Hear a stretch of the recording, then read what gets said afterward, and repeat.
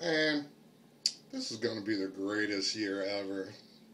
Oh, fuck all that talk about 2012 Mayan end of the world bullshit. The fuck? What's? Oh shit! Oh shit! Oh god! No! No! God!